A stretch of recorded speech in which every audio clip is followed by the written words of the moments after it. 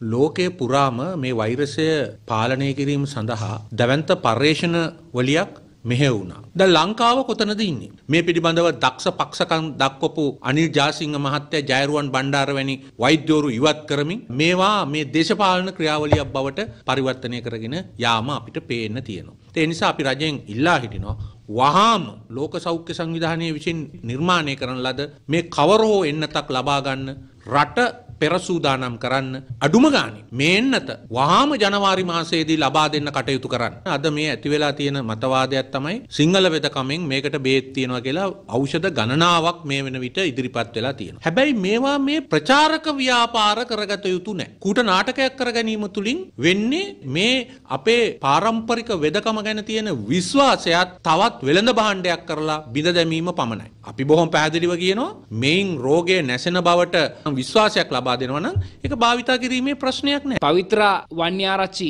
සෞඛ්‍ය ඇමතිතුමිය පැණි ගැන බොහොම අනුග්‍රහයක් දක්වනවා. පැණි බීලා පෙන්නනවා. ඊට කලින් පළවෙනි රැල්ලේදී අර චීන කාන්තාව ඉඹලා පෙන්නුවා. නමුත් සෞඛ්‍ය අමාත්‍යවරයෙක්ගෙන් අවශ්‍ය වෙන්නේ ඒ කාරණේ නෙමෙයි. දැන් අපි සුදර්ශනී ප්‍රනන්දුපුල්ලේ ඇමතිතුමිය අපි විරුද්ධ පැත්තේ හිටියත් අපි සන්තෝෂ වෙනවා. එතුමිය කිව්වා මේ මේ වෙන පැණියක්වත් නිකන් මේවා පාවිච්චි කිරීමෙන් වළකින්නේ කියලා. අපි මේ සාධනීය විවේචනයන් කරන්නේ මේ රටේ මහජනතාව දිනපතා අලුත් වීඩියෝ සහ ප්‍රවෘත්ති නැරඹීමට ඉහත බටන එක ක්ලික් කර සියත TV සබස්ක්‍රයිබ් කරන්න.